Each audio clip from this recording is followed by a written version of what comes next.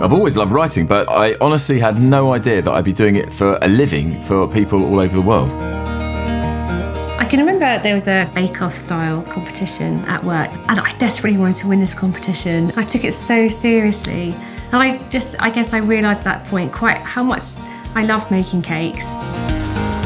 It was a big deal and a big step for me to enter into this and there has been some mistakes but you have to try to turn those mistakes into a positive. I had to build up my digital skills, and the problem was knowing where to start and who to trust.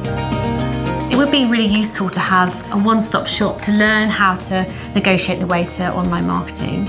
I would have bitten someone's hand off to have access to a free online learning platform.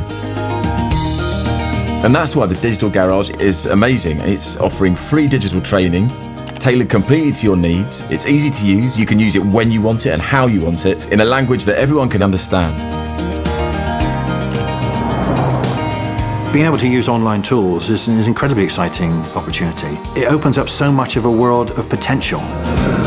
We've gone from being a small startup cake shop in my kitchen to now we have two shops, an e-commerce business which is growing every year. I am one of the luckiest people in the world. I'm running a global business from my desk in my house in Sussex in my pyjamas. I've scratched that itch of having an unusual, different job whilst being in control of my own destiny.